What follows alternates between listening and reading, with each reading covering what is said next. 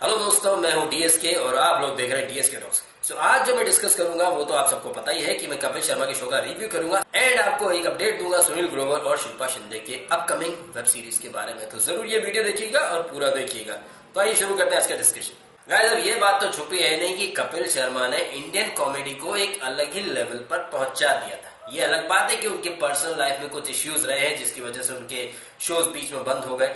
लेकिन कपिल शर्मा ने एक छोटे से गैप के बाद, छोटे से ब्रेक के बाद टीवी पर वापस से कम कर लिया है और उनका फ़र्स्ट एपिसोड ऑन एयर हो गया कल रात को, जिसमें कि अजय देवगन भी आए थे। ये शो कैसा रहा, कैसा नहीं रहा, इसके बारे में डिटेल में बात करेंगे। सो बगैर टाइम वेस्ट किए, आइए शुरू करते हैं review of family time with Kapil Sharma. So Kapil Sharma अपनी टीम के साथ वापस से सोनी टीवी पर आ गए हैं। धमाल मचाने, लोगों को हंसाने, लोगों का मनोरंजन करने। अब ये तो कहने की बात नहीं है कि शो का प्रीमियर था, कल तो शो को बहुत ज़बरदस्त ओपनिंग मिली है। लेकिन अगर आप इसकी ओपनिंग को कंपेयर करेंगे तो कपिल शर्मा शो की ओपनिंग से तो ये शो उसकी ओपनिंग के मुकाबले काफ़ी नीचे रहा। आपको याद होगा जब कपिल शर्मा ने सोनी टीवी पर अपना डेब्यू किया था कपिल शर्मा शो के साथ। उनकी पूरी टीम आई थी, शाहरुख खान भी आए थे। वो एपिसोड काफ़ी ज़्यादा काफ़ी ज़्यादा ज़बरदस्त टीआरपी देखे गया था। And family time with Kapil Sharma show से काफ़ी लोग डिसअपॉइंट हुए हैं। क्यों डिसअपॉइंट हुए हैं? क्या रीजन है? आइए इस बारे में डिटेल में बात करते हैं। सबसे पहले आपको ये जानकर हैरानी होगी कि जिस शो में कपिल शर्मा है, की कुशारदा है, नवजोत सिद्धू ठको गुरु ठको मतलब हँसी के ऐसे फनकार मौजूद है, उसके बाद खुद कपिल शर्मा ने अपने शो को कॉमेडी शो नहीं, बल्कि एक गेम शो का नाम दिया। यह एक गेम शो जहाँ पर की ऑडियंस कुछ फन टास्क में पार्टिसिपेट करेगी। काफ़ी बड़े बड़े प्राइजेस है वॉशिंग मशीन कार वगैरह, दुनिया भर की चीज़ें हैं, जो कि ऑडियंस जीत सकती है कपिल शर्मा के शो में। सो अगर मैं कहूँ कि ये 90 परसेंट गेम शो है ओनली 10 परसेंट कॉमेडी शो है तो वो गलत नहीं होगा। अब बात करते हैं कि परफॉर्मेंस की तो कपिल शर्मा एज ऑलवेज जैसी वो कॉमेडी करते एकदम स्पॉन्टेनियस कपिल शर्मा में ये बात तो है, और ये बात कोई झुटला नहीं सकता कि वो एक सीधी सिंपल बात को भी फनी वे में प्रेजेंट करते हैं, और लोगों को हँसी आ ही जाती है। चाहे आप उनका कलर्स टीवी पर शो आता था कॉमेडी नाइट्स विद कपिल या फिर सोनी पर आया था द कपिल शर्मा शो जिस अंदाज में वो ऑडियंस से बात करते थे, वही अंदाज हमें अब भी दिखाई दिया। चाहे वो खुद के ऊपर जोक्स क्रैक कर रहा हो, चाहे ऑडियंस में किसी ने सवाल पूछा हो, उसी की क्लास लेकर उसी के ऊपर जोक बना देना, इस फन में कपिल शर्मा को महारत हासिल है। एंड जैसा कि मैंने कहा, खुद के ऊपर जो बनाना कल हमने देख लिया कि कपिल शर्मा ने किस तरह से अपनी ही पिक्चर फिरंगी जो कि फ्लॉप हो गई, उसका मज़ाक बना दिया। फिरंगी फ्लॉप करा के कपिल शर्मा सोनी पे वापस आया। सो ये बात तो है कि वो बंदा अपने ऊपर ही जोक बना लेता है और कपिल शर्मा के जोक्स ऐसे हैं गाइस चाहे वो बीएमडब्ल्यू में बैठा क्लासी बंदा हो या पान की दुकान पर बैठे मिश्रा जी। सभी कपिल शर्मा के जोक्स के मुरीद है। अब ये तो हो गई कपिल की कॉमेडी की तारीफ़, लेकिन हमें उनकी कॉमेडी का दूसरा पहलू भी देखना होगा। दूसरा पहलू ये है कि उनकी कॉमेडी का स्टाइल वही रिपीटेटिव है।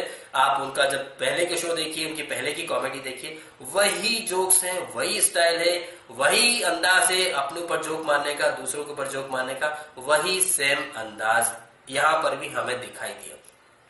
यही नहीं शो को ग्लैमराइज करने के लिए नेहा पेंट से लाई गई हैं, जो कि आपको याद होगा लाइफ ओके पर शो आता था मे आई कमिन मैडम, जिसमें कि वो मैडम बनी थी, बॉस बनी थी। नो डाउट वो बहुत ज़्यादा खूबसूरत है और इस शो को चार चाँद लगा दिया है उन्होंने। और जैसा कि कपिल अपने पुराने शोज़ में करते रहे, अपनी फीमेल को एक्टर्स के साथ फ्लर्ट करना, मस्ती करना, मज़ाक करना, छेड़छाड़ करने की कोशिश करना, वही सब कुछ कपिल ने यहाँ पर किया है। एंड बाकी की कास्ट अगर मैं कहूँ तो कीकू शारदा हो, चंदन प्रभाकर हो, बहुत अच्छे कॉमेडियन है नो डाउट लेकिन मुझे ऐसा लगा देखकर कि कीकू शारदा का जो बम्पर का कैरेक्टर है, जैसे वो जोक मारते हैं बम्पर बन के वो उनमें कुछ नयापन नहीं है गाइस वही स्टाइल के जोक है, वही आपने तो देखा ही होगा दीपक तिजोरी कि घर पे अगर चोर आ गए तो उसमें पैसा नहीं मिलेगा। क्यों? अरे वो दीपक तिजोरी तिजोरी साथ लेके गया।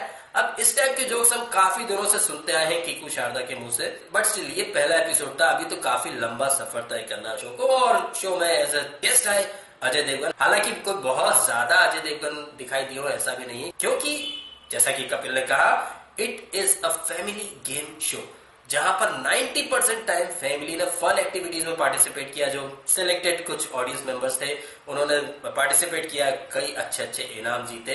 तो अगर मैं कहूँ कि ऐसा गेम शो हम टीवी पर पहले भी देख चुके हैं, आपको याद होगा, सब टीवी पर आता था, सब खेलो सब जीतो।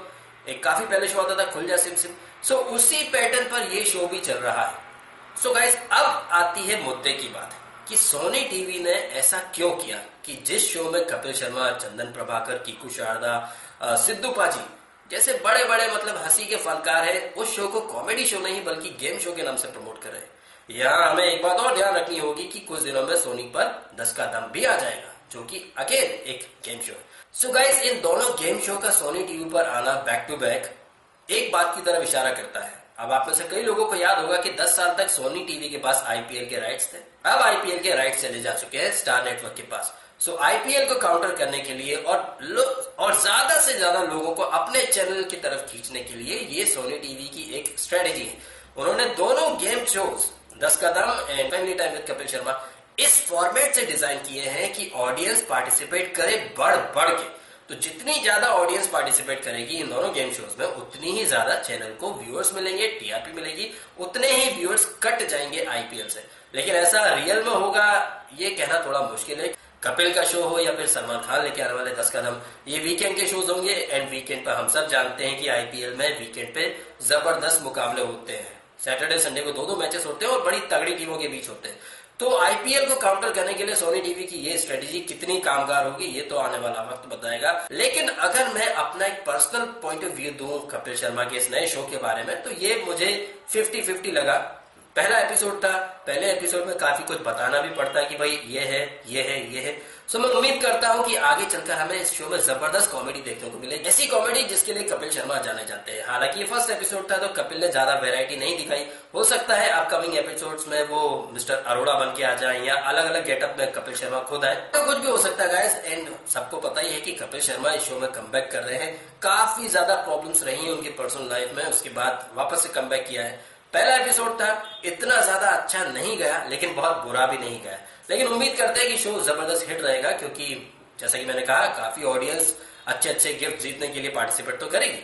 सो so गाइस जहाँ कपिल शर्मा की मैं बात कर रहा हूँ तो सुनील ग्रोवर का ज़िक्र ना हो, ऐसा कैसे हो सकता कपिल शर्मा का शो आ चुका है और मुझे गुप्त सूत्रों से पता चला है कि सुनील ग्रोवर एंड शिल्पा शिंदे का जो वेब सीरीज़ है, जो डिजिटल शो है, जो कि आईपीएल के ऊपर ही बेस्ड है, छह अप्रैल या सात अप्रैल के आसपास शो का फ़र्स्ट लुक आने वाला है। शो का नाम क्या होगा, ये सारी डिटेल्स छह या सात अप्रैल को रिवील करी जाएँगी। ऐसा मुझे पता चला है एक खास सोर्स के थ्रू सो काफ़ी सारी बातें हैं जो अभी प्रिपरेशन के दौर में चल रही हैं। धीरे धीरे पर्दे खुलेंगे तो मैं आपको ज़रूर बताऊँगा। सो गाइस इसी नोट पर आप लोगों से विदा चाहूँगा। आपको वीडियो अच्छा लगा हो तो शेयर ज़रूर कीजिएगा। अपने कमेंट करके बताइएगा कि आपको कपिल शर्मा का ये शो कैसा लगा। एंड कीप वॉचिंग डीएस के डॉग्स अगर आपने सब्सक्राइब नहीं किया है तो सब्सक्राइब कर लीजिए और दोस्तों से भी कराइए।